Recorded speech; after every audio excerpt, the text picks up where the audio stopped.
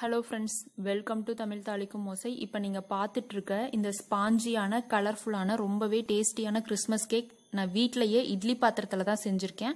வாங்க எப்படி செய்கிறதுன்றதை பார்க்கலாம்.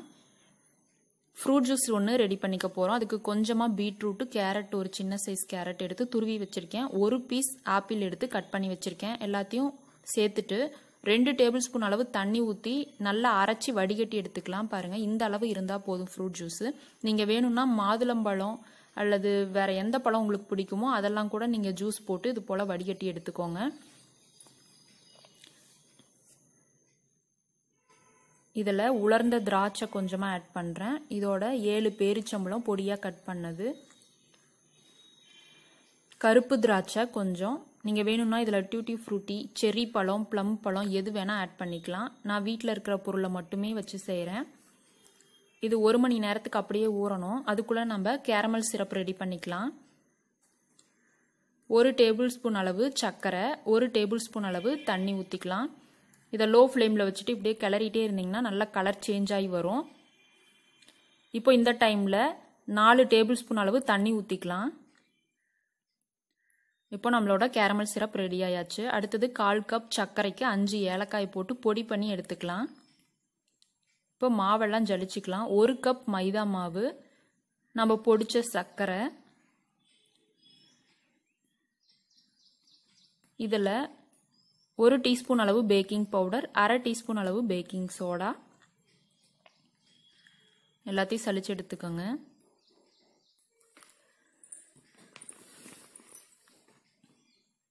இப்போ இதில் ஒரு டேபிள் ஸ்பூன் அளவு சோள மாவு கால் கப் அளவு பால் பவுடர். எந்த கப்பில் நம்ம மைதா எடுத்தோமோ அதே கப்லேயே தான் எல்லா பவுடரையும் நம்ம மெஷர் பண்ணியிருக்கோம்.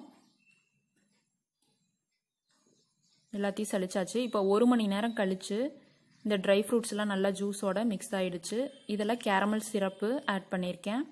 இதெல்லாம் ஒன்றா சேர்த்து கலந்து விட்டுட்டு நம்ம சளிச்சு வச்ச மாவை இதில் கொட்டி கிளறிக்கலாம்.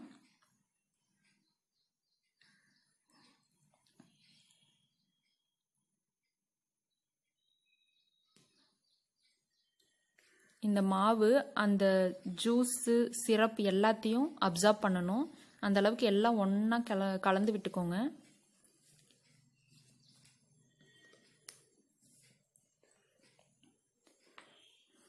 இப்போது கால் கப் அளவு பாலில் ஒரு டேபிள் ஸ்பூன் அளவு தயிரை மிக்ஸ் பண்ணுறேன்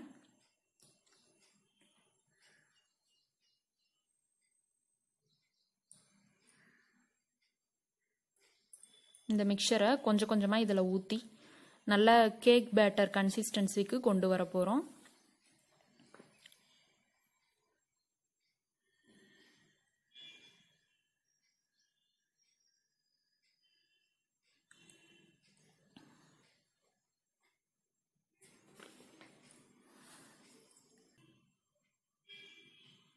நான் எவ்வளவோ வீடியோவை சுருக்கணும்னு நினச்சேன் பட் முக்கியமான விஷயங்கள்லாம் சொல்ல முடியாதுன்றதுனால தான் இவ்வளோ லென்த்தாக இருக்குது இருந்தாலும் நீங்கள் ஸ்கிப் பண்ணாமல் பாருங்கள் அப்போ தான் உங்களுக்கு புரியும்.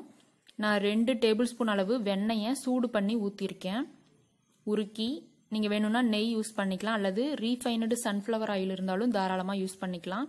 இதில் ஒரு டீஸ்பூன் அளவு வெனிலா எசன்ஸ் சேர்க்குறேன்.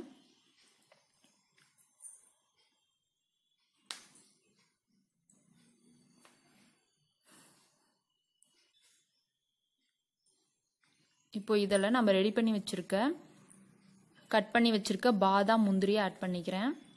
நீங்கள் வேணும்னா வால்நட் யூஸ் பண்ணிக்கலாம். வெள்ளரி விதை இருந்தால் கூட யூஸ் பண்ணிக்கலாம்.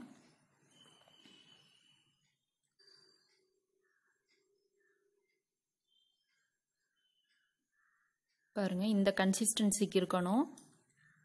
இப்போது இட்லி பாத்திரத்தில் தூளுப்பு சேர்க்குறேன். இது நான் ஏற்கனவே கோதுமை கேக்குக்கு சாக்லேட் கேக்குக்கெலாம் யூஸ் பண்ண அந்த தூளுப்பு தான் இதில் மூணு கப் சின்ன சின்னதாக எடுத்து இதில் நான் வைக்கிறேன். நீங்கள் ஒயர் ஸ்டாண்ட் இருந்ததுன்னா தாராளமாக யூஸ் பண்ணிக்கலாம். என்கிட்ட அது இல்லை அதனால் இந்த கப்பை நான் யூஸ் பண்ணிக்கிறேன். இது மேலே நம்ம ரெடி பண்ணி வச்சுருக்க கேக் பேட்டரை ஒரு பாத்திரத்தில் ஊற்றி வைக்க போகிறோம் அதுக்கு முன்னாடி இதை ப்ரீ ஹீட் பண்ணிக்கலாம். ஒரு பத்து நிமிஷம் லோ ஃப்ளேமில் வச்சு ப்ரீ ஹீட் பண்ணிக்கோங்க. இப்போ நம்ம எந்த பாத்திரத்தில் கேக் ரெடி பண்ண போகிறோமோ அந்த கப்பில் வந்துட்டு பட்டர் பேப்பர் ஒன்று சின்னதாக வச்சுருக்கேன்.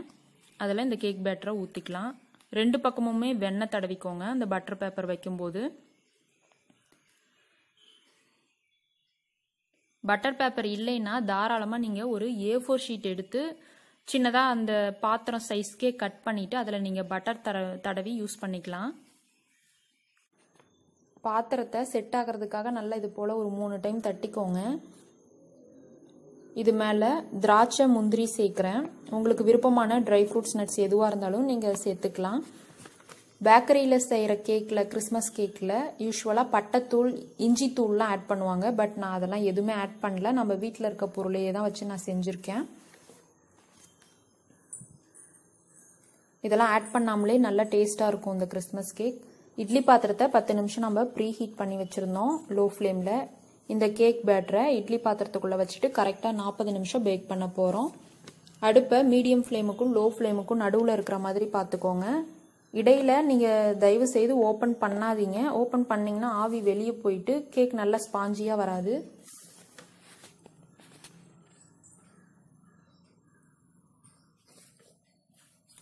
நாற்பது நிமிஷம் முடிஞ்சாச்சு. பாருங்க நம்ம எதிர்பார்த்ததை விட சூப்பர் ஸ்பாஞ்சியாக கேக் வந்திருக்கு. பார்க்கவே எவ்வளோ அழகாக இருக்கு பாருங்க. பேக்கரியிலேருந்து வாங்கிட்டு வந்த கேக் மாதிரியே இருக்கு.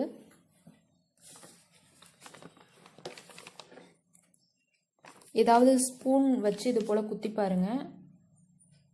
இது போல் சின்ன சைஸ் குச்சி இருந்தாலும் குத்தி பாருங்க. அதில் ஒட்டாமல் வரணும். ஒட்டாமல் வந்ததுன்னா நல்லா வெந்துடுச்சுன்னு அர்த்தம். ஆறின பிறகு கத்தி வச்சு சுற்றிலும் எடுத்து விட்டுட்டு பிளேட்டுக்கு ட்ரான்ஸ்ஃபர் பண்ணிக்கலாம். பட்டர் பேப்பரையும் எடுத்தாச்சு. நம்மளோட அருமையான கிறிஸ்மஸ் கேக் ஓவன் இல்லாமலேயே இட்லி பாத்திரத்திலேயே ரெடி ஆயாச்சு. இந்த ரெசிபி உங்களுக்கு பிடிச்சிருக்கும்னு நினைக்கிறேன். பிடிச்சிருந்தா மறக்காம நம்ம சேனலை சப்ஸ்கிரைப் பண்ணுங்க.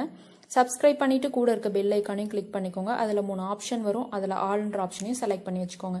நிச்சயமா இந்த ரெசிபியை நீங்கள் உங்கள் வீட்டில் செஞ்சு பார்த்துட்டு எப்படி இருந்ததுன்னு எனக்கு கமெண்ட் பாக்ஸில் கமெண்ட் பண்ணுங்க. தேங்க்ஸ் ஃபார் வாட்சிங்